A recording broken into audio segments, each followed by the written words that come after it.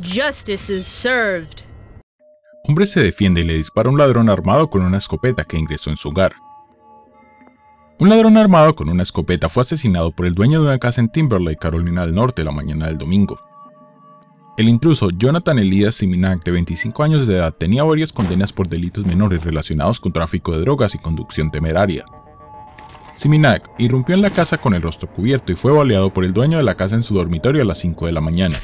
Las autoridades dijeron que el intruso estaba apuntando con su escopeta y exigiendo dinero antes de que el dueño de la casa, cuyo nombre no ha sido divulgado, le disparó con un arma que tenía en su hogar. El proyectil golpeó la escopeta antes de impactar a Siminac en el estómago. Él fue trasladado en un helicóptero médico pero murió en camino a cirugía. Después del tiroteo, la policía detuvo a la novia de Siminac, Cody Alicia Bowling, de 20 años. La policía presentó cargos de conspiración para cometer robo en primer grado. Las autoridades están considerando la posibilidad de incluir cargos de robo en primer grado e intento de robo mano armada.